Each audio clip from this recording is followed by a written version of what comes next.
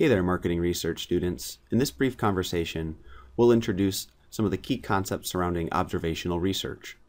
There's three key learning outcomes that you should have at the end of this lecture. First, you should be able to explain the pros and cons of observational research. And you should also be able to explain why it's often used for exploratory research and marketing research. Next, you should be able to describe the common uses for other types of observational research typical in marketing research. And finally, you should be able to understand how the four different dimensions of observational research can be used to determine the advantages and risks of a particular observational research technique. So what is observational research? Observational research observes consumer behavior. This is how we collect the data rather than collecting it through communication-based methods, such as survey designs. In reality, observational research and communication-based research are often blended together, as each information gathering mechanism is used to complement the limitations of the other. You may recall from a previous conversation the multitude of advantages that communication based research had when it came time to measure the internal mental states of consumers. But observational research tends to be superior when it comes time to observing actual human behavior. Observational research comes in a variety of different forms, each tailored to solve the particular research question it's facing. However, we can usually characterize any observational research technique across four different dimensions and by understanding the, the properties a particular design approach has across those four dimensions helps us understand the advantages and disadvantages of a particular approach. First, observational research comes in structured and unstructured format. When it's structured, that means the observation that we intend to look at is actually clearly defined. For example, perhaps we're interested in the number of products that a consumer touches while they're shopping in a retail store if the if the observation was to count the exact number of products they touched within a particular time frame, clearly we have a well-designed and well-structured set of measurement rules. On the other hand, a lot of observational research is unstructured. That is, we don't really set any particular rules of what we're looking for. Instead, we're merely looking out for consumer behaviors that seem interesting, important, or different than our expectations. This tends to be associated with exploratory research designs. Next, Observational research can be either disguised or undisguised. If it's disguised, that means the participants in the study have no way of knowing that they're actually being observed. Of course, this creates some issues with marketing research ethics, but nonetheless, many observational research designs are disguised in applied marketing research. On the other hand, observational research that is undisguised means that the respondents do know that they're actually being watched by a researcher for research purposes. It doesn't necessarily mean that they know exactly what the study is about, however. Next, observational research can be either in a natural or contrived setting. In a natural setting, we are literally doing the observation of consumer behavior in a natural retail environment or some other natural consumer environment. In a contrived setting, we, the researchers, have either created some sort of laboratory in which we observe people behave, or we've artificially constructed the natural environment in such a way to suit our particular purposes. Finally, when it comes time to actually documenting those observations, we, we use either human or mechanical observation. For human observation, the human is literally the person responsible for observing and coding the observations. In mechanical observations, we're relying on some other device to first capture and sometimes even code the information. So we might use a camcorder or an eye tracker or an audio recording device. Next, let's introduce a few examples of observational research used in marketing research, and we'll explain the four different dimensions of which each one of these designs breaks, breaks down across. Envirosell is one of the most famous marketing research companies that engages in a lengthy amount of observational research. Paco Underhill is the, the founder of Envirosell. They use a variety of observational and observational communication-based hybrids. For example, they often do consumer tracking studies through a retail environment. The image that you're seeing here is an Envirosell employee tracking where a particular consumer walked through as they are walking through a particular retail store. This is literally their path of purchasing. In this particular case, this study was structured because it's clear that where the observation is to track where people have gone. It's undisguised. In this case, the participant in the study is aware that an Envirosell employee is following them as they're engaging in shopping. It's natural. It's happening in a regular store. And a human is the person responsible for actually observing the measurement.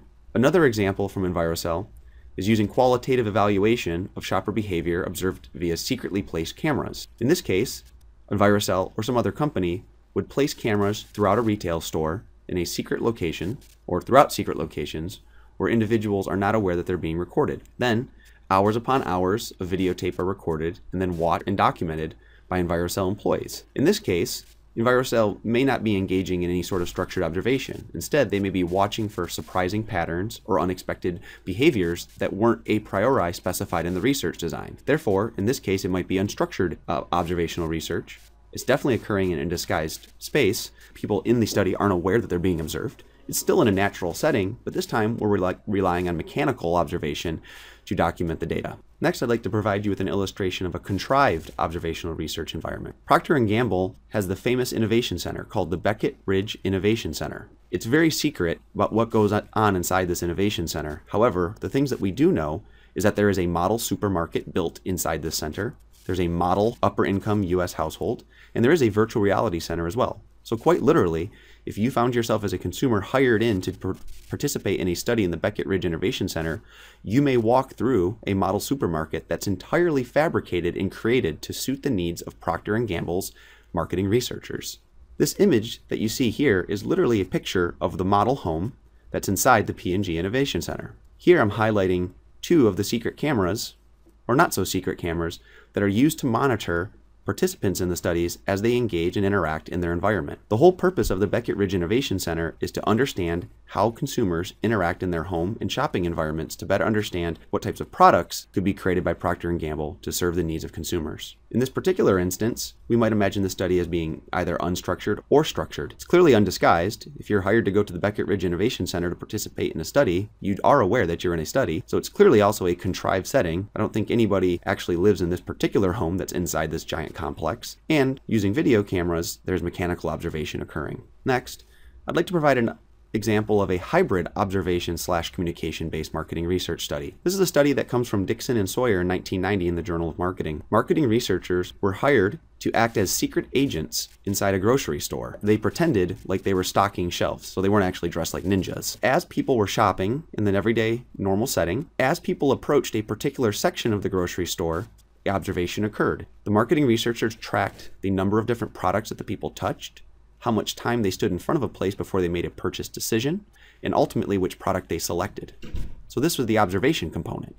As soon as the person actually made their observation, uh, I'm sorry, as soon as the person actually made their selection for the product they wanted to buy, then the secret marketing researcher introduced themselves to the shopper, paid them a dollar, and then asked them a series of survey questions. For the observational component of this study, the researchers learned that on average, people spent about 12 seconds at the particular product category, but 42% of them spent less than 5 seconds, and 85% of the individuals shopping only handled the selected brand that they actually purchased.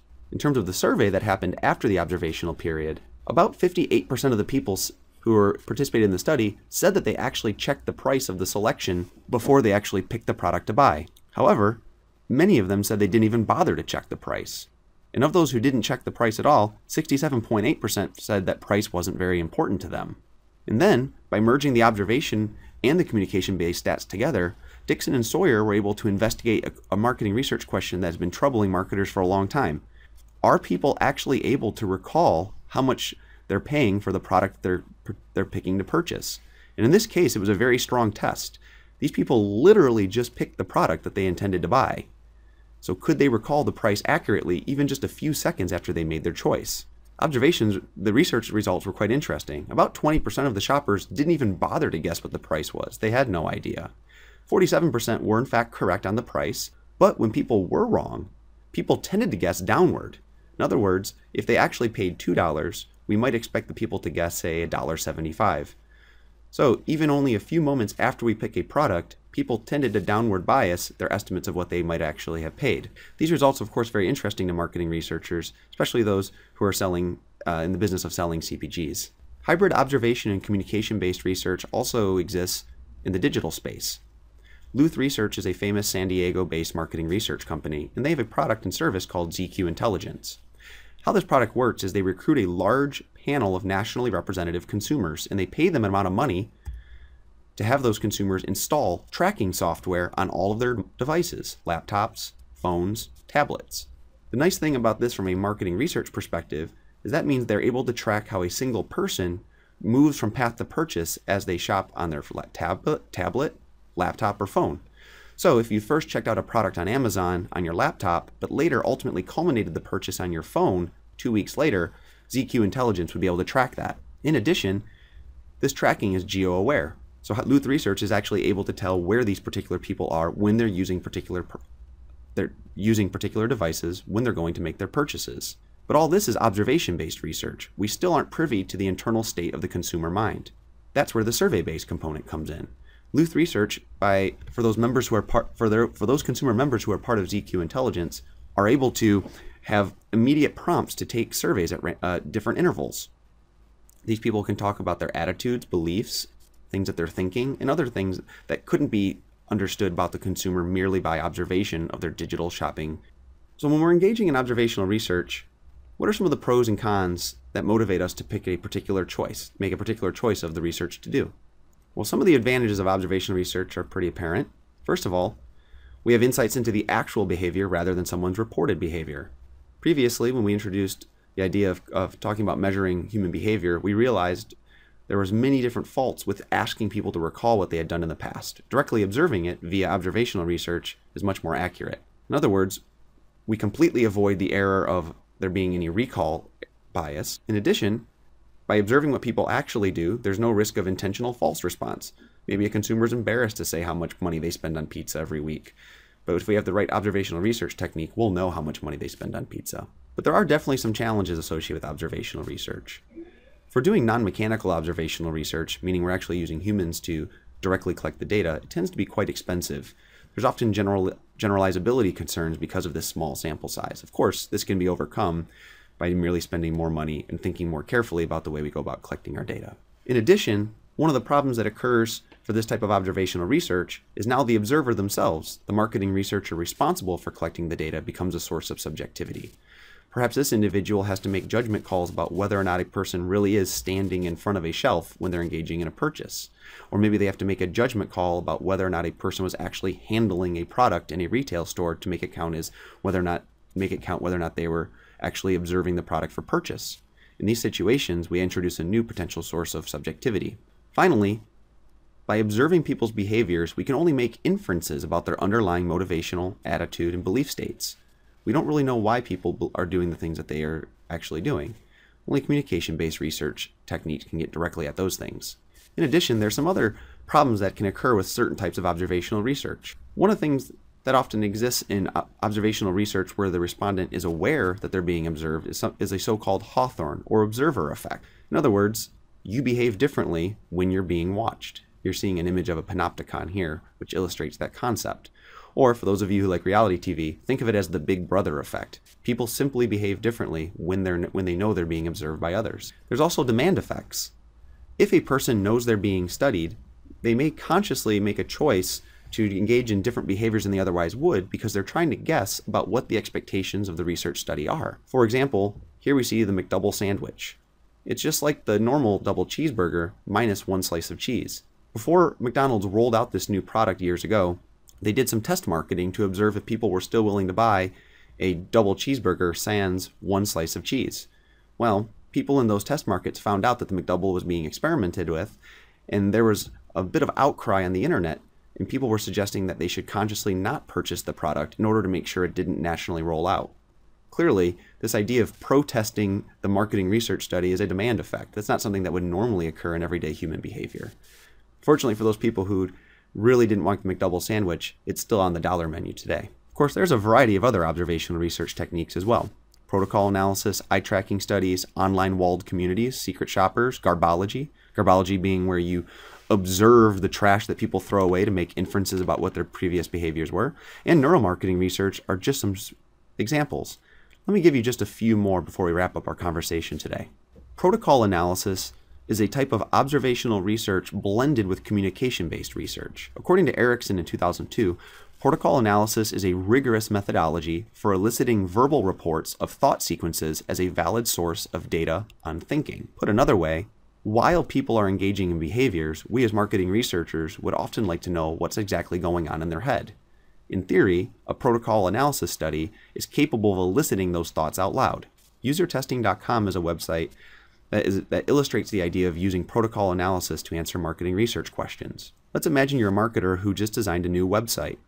You would like to know how people think about solving problems like searching for particular products they want to buy while they're clicking on your new website interface.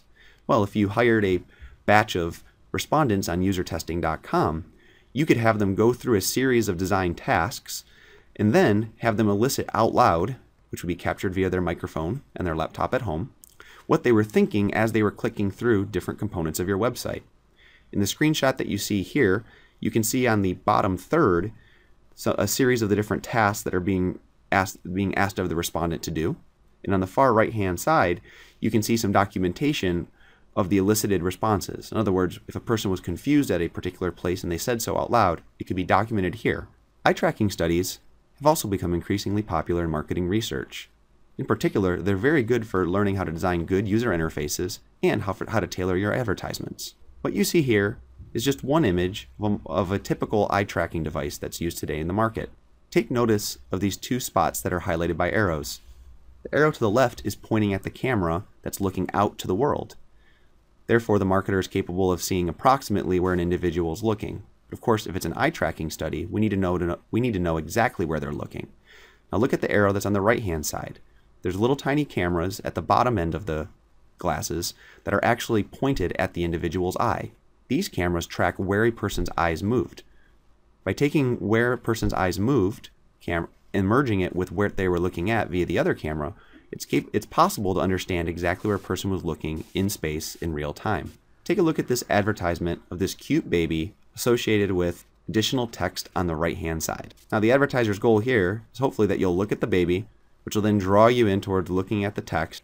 What you see on top of all these images is a heat map from an eye tracking study. The red spot right over the baby's face confirms the thing that, that you probably already know. People inherently spend time looking at things that look like people's faces, like cute little babies in magazine ads. However, we also tend to look where people tell us to look, even if they're not real people. Here's an alternative version of the advertisement. Again, individuals are looking closely at the baby, but this time the baby's eye gaze is pushing you towards the text. And again, we see that individuals are indeed looking and spending more time engaging with the text this is an example of an experiment where observational data via eye tracking study was used to address a research question. This conversation only scratched the surface of the types of observational research techniques that are used by marketers. Keep in mind that the PowerPoint slide deck that's available to you that accompanies this lecture hyperlinks added to that where you can go watch videos of observational marketing research in action.